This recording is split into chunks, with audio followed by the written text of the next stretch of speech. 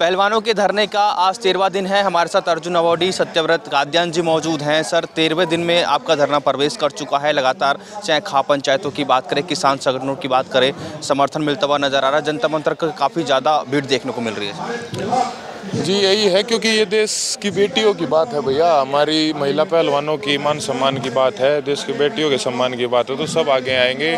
मैं तो पहले ही कह रहा हूँ सब सपोर्ट कीजिए आइए आगे और भाई इस आंदोलन को आगे बढ़ाइए और उनको न्याय दिलाने में हेल्प करिए। सर आज तेरहवा दिन है जिस तरीके से सुप्रीम कोर्ट में कल सुनवाई हुई है। सुप्रीम कोर्ट ने केस बंद दिया है क्या? तो आप लोग आगे जाएँगे हाई कोर्ट क्या नीचे नीचे ले नहीं वो हमारी लीगल टीम सब देख रही है। भाई जो बेस्ट होगा वो करेंगे हम। दिल्ली पुलिस की कार्रवाई को तेज करवाना पहले तो सर दिल्ली पुलिस की जिस तरीके की कार्रवाई हुई परसों जिस रात को जिस तरीके से घटना हुई पूरे देश में सोशल मीडिया की बात करें ट्विटर की बात करें लोगों में काफ़ी ज़्यादा गुस्सा देखने को मिल रहा है और उसके बाद जो जंतर मंतर पर भीड़ भी बढ़ती हुई नज़र आ रही है हमारी लोगों से बात हो रही है काफ़ी ज़्यादा गुस्सा वो करते हुए नज़र आ रहे हैं दिल्ली पुलिस की। किस तरीके से देखते हैं आपकी कार्य प्रणाली को?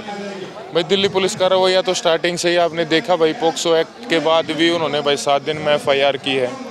और बस वो हमें कैसे भी यहाँ से थका के, हमारे को डरा के, धमका के, अत्याचार करके भगाना चाहते हैं, पर हमारे हौसले इतनी जल्दी नहीं टूटेंगे। जब तक हम जीत नहीं जाते, न्याय नहीं मिल जाता, हम यहीं हैं। खबर तक से बातचीत करने के लिए। तो ये थे अर्जुन अवॉर्डी, सत्यव्रत। खाद्यान जिन्होंने खबरें तक से खास बातचीत की और उन्होंने कहा है कि जब तक उनको इंसाफ नहीं मिलता, इनकी जो महिला पहलवान है, उनको इंसाफ नहीं मिलता, उनके साथ हर एक खिलाड़ी खाप पंचायत, तमाम जो लोग हैं, वो सपोर्ट में हैं और हम इसी तरीके से दिल्ली के जंतर मंतर पर, धरने पर बैठे रहेंगे। मेरे सहयोगी जस्सी के साथ राजा पटेल, दिल्ली खबरें अभी तक।